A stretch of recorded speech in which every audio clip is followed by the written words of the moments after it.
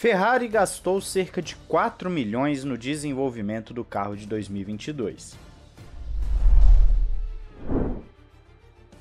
Olá, amigo do Ressaca Fórmula 1, seja bem-vindo a mais um vídeo. Eu sou Matheus Pucci.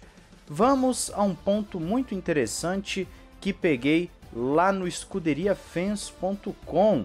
Inclusive vi isso no Twitter, vim aqui para a fonte e vou deixar na descrição para que você possa conferir tranquilamente aí na sua casa. Sem enrolação, vamos ao que interessa. Estão tendo muitas discussões e debates acerca do teto orçamentário, da questão dos 145 milhões que são para as equipes estarem fazendo as suas melhorias ao longo da temporada. E a Red Bull teria ficado, ou melhor, ficou, de acordo com o relatório da FIA, isso já é oficial, 5% acima, ou até 5% acima desse valor de 145 milhões, o que pode representar uma extrapolada de até 7,25 milhões.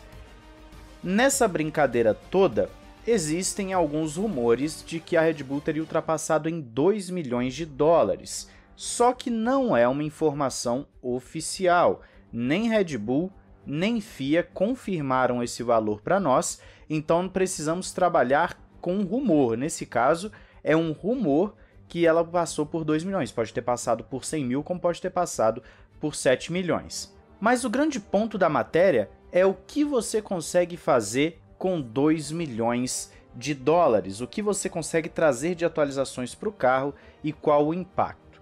Então nós vamos começar pelo seguinte, uma asa adaptada ou até mesmo um assoalho pode custar cerca de 300 mil dólares. E esses valores aqui estão bem realistas perto daquilo que a gente já trouxe para vocês no canal, de qual é o valor real das peças de um carro de Fórmula 1, que essas informações são dadas por equipes, são dadas por pessoas de dentro da Fórmula 1, então é bem legal a gente ver que os valores aqui estão realmente nessa média. Então um novo assoalho ou uma nova asa adaptada custaria cerca de 300 mil dólares. Lewis Hamilton já apontou que se a Mercedes tivesse investido um pouco mais no carro de 2021, o campeonato contra Verstappen seria diferente. Para você ter uma ideia, o último grande pacote de atualizações da Mercedes foi em Silverstone, aquela corrida em que Hamilton e Verstappen acabaram se tocando. O próprio Hamilton fala que se tivessem gastado cerca de 300 mil dólares em um novo assoalho, numa nova asa adaptada, isso teria mudado o resultado do campeonato e naturalmente estariam numa situação melhor por agora também em 2022. Já no caso de um chassi, nós teríamos um gasto de cerca de 1 milhão de dólares. E chassi por si só é sim muito caro.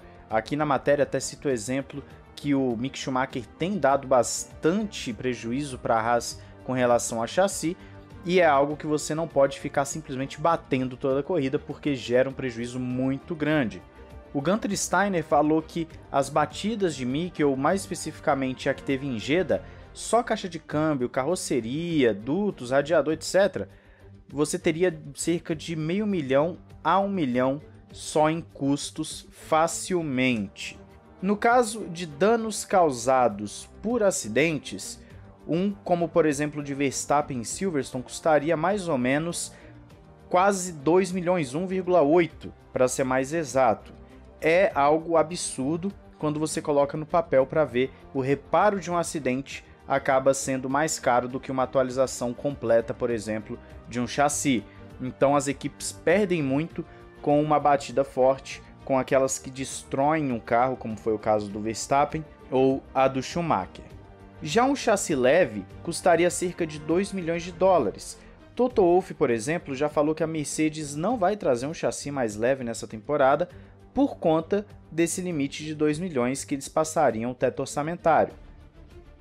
Por outro lado, existe o tal rumor do chassi leve da Red Bull, que vão deixar para 2023 e está tendo algumas conversas se esse gasto entra para 22 ou vai para 23. Isso gera sim uma abertura no regulamento, porque uma equipe pode começar a desenvolver o carro de 23 com o orçamento de 22, além daquilo que era previsto. Então ele já pode entrar 2023 muito à frente dos demais, gastando aquilo que geralmente só gastariam na nova temporada. É uma brecha de regulamento que pode ser explorada e com certeza as equipes estão explorando, principalmente a Red Bull nesse caso com a questão desse chassi, mas seria no caso cerca de 2 milhões. E se esses 2 milhões que estão falando aí da Red Bull não for por conta desse chassi? Já imaginou se chega ano que vem a Red Bull voando mais rápido ainda por conta desse chassi? Seria um belo indicativo. Agora vem a parte mais interessante que é o que nós estávamos falando agora no início e também é a capa do vídeo. Uma atualização para toda a temporada de Fórmula 1 custa de 2 a 4 milhões de dólares e eu vou explicar isso já já porque você pode estar coçando a cabeça com essa informação.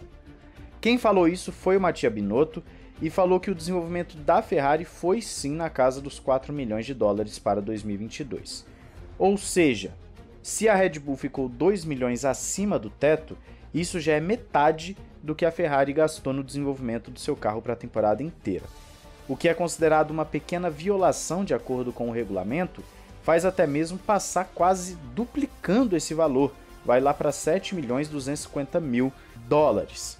Então fica bem claro porque de Ferrari e Mercedes estarem sendo bem severas quanto à exigência de punição para a Red Bull.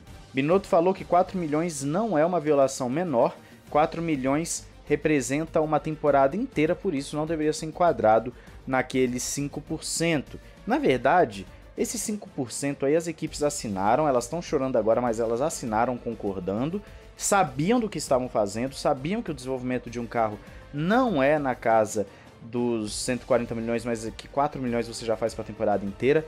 Então eles estão agora chorando porque uma rival passou. Essa é a verdade.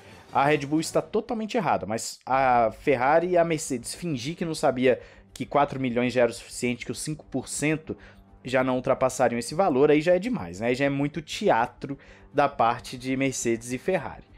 Qual que é o problema aqui? Você deve estar se perguntando como é que uma equipe gasta 4 milhões no desenvolvimento de carro. Essa informação está totalmente errada. Não, não está errado. O teto orçamentário está contando os gastos gerais, totais de uma equipe de Fórmula 1. Está entrando gasto com operações na fábrica, está contando gasto com os funcionários por si só, está contando gastos de salários, está contando muita coisa, se não me engano, viagens também tá contando basicamente tudo. O que não entra no teto é, é salário de piloto e também os três maiores salários da equipe técnica, ali no caso do chefe de equipe, mais dois funcionários. Então, tudo que uma equipe gasta entra no teto orçamentário, até a comida, que é o caso que estão especulando da Red Bull, questões de saúde, tudo isso entra. Não é só para o desenvolvimento do carro. Com 4 milhões você já faz um belo desenvolvimento. Sim, você desenvolve muita coisa num carro de Fórmula 1, ainda mais se você considerar que as equipes não levam upgrades todo final de semana, com exceção da Alpine, mas a Alpine levava upgrades baratos todos os finais de semana. Ela não está levando a toda corrida um chassi novo, por exemplo. Ela levava uma asa, levava uma pecinha aqui, um detalhe ali, uma adaptação aqui, coisa que fica na casa dos 100 mil, 200 mil, às vezes 300 mil dólares. Portanto, é sim realista esse valor que o Binotto está falando, de 4 milhões. A Red Bull ultrapassando em 2 ou em 7 não faz diferença, ultrapassou. A diferença é na pista, claro. Você pode ter um desenvolvimento de carro muito melhor.